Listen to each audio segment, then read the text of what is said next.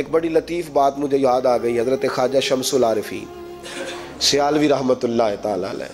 شاگردوں کو پڑھا رہے تھے۔ مریدوں کو پڑھانے جو بزرگ ہوتے تھے، وہ پڑھایا کرتے تھے مریدوں کو۔ اب تو اللہ خیر کرے بانج علموں جو کرے فقیری۔ وہ کافر مرے، دیوانہ ہو۔ اب سارے علم لدنی والے ہیں۔ اللہ جانے کہاں سے پڑھ کے آئے ہیں اور کہاں پڑھا رہے ہیں، اللہ ہی بہتر جانتا ہے۔ تو حضرت شمس العارفین پڑھا رہے تھے، مرید بیٹھے تھے۔ اور دیکھیں اس درویش کا عروج دیکھیں کہ ان پڑھنے والوں میں ایک مرید پیر سید مہر علی شاہ صاحب بھی بیٹھے تھے۔ حضرت عارف گولڑوی رحمت اللہ تعالیٰ علیہ، کتھے مہر علی تے کتھے تیری سنا مشتاق اکھیں کتھے جاڑی حضرت سیدنا پیر مہر علی شاہ صاحب بھی پڑھ رہے ہیں۔ ایک بڑے نورانی چہرے والے بزرگ آ گئے۔ حسن خوبصورتی، لبوں پہ معصومیت، بڑا پیار۔ وہ بزرگ آئے تو لوگوں کی نظریں جم گئیں ان پہ۔ دیر تک طالب علم، مریدین، سالکین ان کی طرف دیکھتے رہے۔ وہ بزرگ تھوڑی دیر ملے، روانہ ہونے لگے۔ تو حضرت شمس العارفین فرمانے لگے، مریدوں اور شاگردوں سے پتہ کون ہے؟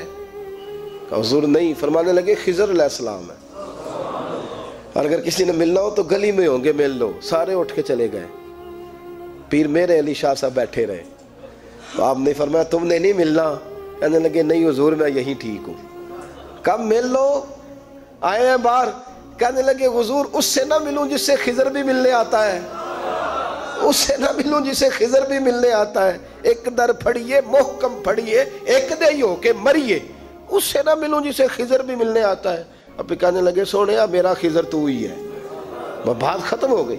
اپنا سنگی جو سارا دن ساتھ رہتا ہے، محنت کرتا ہے، محبت کرتا ہے، ہر دکھ سکھ میں شریک ہوتا ہے، اس کے ساتھ روڈ رویہ۔ اس کے ساتھ ہمارا رویہ خستہ سلام بھی چلو لے لیں گے، ٹائم ملا۔ اور کوئی بندہ باہر سے چل کے آگے تو مفت کی تعریفیں۔ تو ابھی اسے ملا نہیں۔ تجھے کیا پتا وہ کس طرح کا یہ بیچارہ جو تیرا بزنس پارٹنر ہے، جو تیرے دفتر میں تیرا کلیک ہے، جو تیرا پیر بھائی ہے، جو مسجد میں تیرے ساتھ نماز پڑھتا ہے، اس کے ساتھ رویہ صحیح کر۔ یہ تیرا ہمیشہ کا دوست ہے۔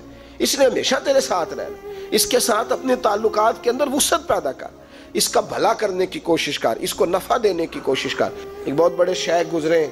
میں ان کی خدمت میں ایک دفعہ حاضر تھا، تو ایک شخص اپنی بیوی اور اپنے زواجی معاملات کی کوئی شکایت کر رہا تھا، تو وہ اس کو سمجھا رہے تھے، کہہ رہے تھے، مجھے پتہ چلا ہے تو اپنی بیوی کے سامنے دوسری عورتوں کی تعریفیں کرتا ہے۔ تو کہتا ہے، وہ دیکھ میری پھوپھی کی بیٹی کتنی اچھی ہے۔ وہ دیکھ، فلاں کس قدر خدمت گزار ہے۔ کہنے لگے، تجھے خیال نہیں آتا؟ اگر کبھی تیری پھپھو کی بیٹی یا تیری کزن کوئی آ بھی جاتی ہے، تو ایک دن تجھے روٹی پکا کے دے لے گی۔ لیکن تیرے سامنے جو روز دسترخوان سجاتا ہے، وہ تیری اپنی بیوی ہے۔ اور تیرے روز کپڑے دھو کے جو تیرے سامنے رکھتی ہے وہ تیری اپنی بیوی ہے۔ اور بچے تیرے ہیں۔ اور ساری ساری رات بیدار رہ کے جو ان کی پرورش کرتی ہے، وہ تیری بیوی ہے۔ تو کس طرح کر کے ہمارا یہ مزاج ہے؟ قریب والوں کے ساتھ ہمارا رویہ خشکی کا۔ قریب والوں کے ساتھ ہمارا رویہ سختی کا۔ اور جو دور سے چل کے آئے، کبھی کبھی ملے، اس کے لیے ہمارے بازو بڑے کریں ایک بزرگ گزرے شیخ حسن، ان کا نام تھا۔ ان کا دوست گھر آ گیا ملنے۔ سائٹ پہ بلا کے کہنے لگا، چالیس ہزار دینار کا قرضہ ہے۔ مہربانی کر۔ شیخ فٹافٹ اندر گئے، چالیس ہزار دینار دیے۔ پیسے دیے تو اندر آ کے چیخے مار کے رونے لگے۔ زوجہ کہنے لگی، اگر اتنا ہی پیسوں سے پیار تھا تو دینے نہیں تھے۔ اب دے لیے تو رونے لگے ہو۔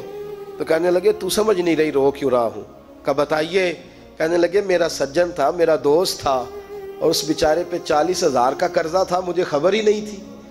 میں تو رو رہا ہوں کہ بیچارے کو گھر آ کے کہنا پڑا ہے۔ اسے بتانا پڑا ہے۔ میں دوست ہونے کا دعویٰ بھی کروں، ساتھ بھی رہوں۔ شام صبح ہماری کٹھی ہوں اور وہ اتنا دکھی ہو اور اسے گھر آ کے منت کرنی پڑے کہ میرے ساتھ تعاون کر۔ کہنے لگے، میں اپنی بیوقوفی پہ رو رہا ہوں۔ اتنی قربتیں تھیں، اتنی اتنا اللہ نے ہمیں ساتھ رکھا تھا۔ اور میں صرف سکھوں میں یار رہا، مجھے خبر ہی نہیں رہی۔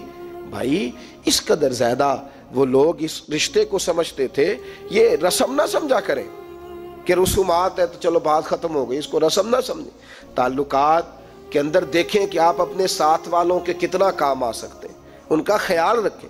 آپ دیکھیں کہ آپ کی طرف سے انہیں نفع کتنا مل سکتا ہے۔ ہم لوگوں نے جب سے فائدہ لینے کا مزاج بنایا، زمانے میں تازگی نہیں رہی، حسن نہیں رہا، خوبصورتی نظر نہیں آتی۔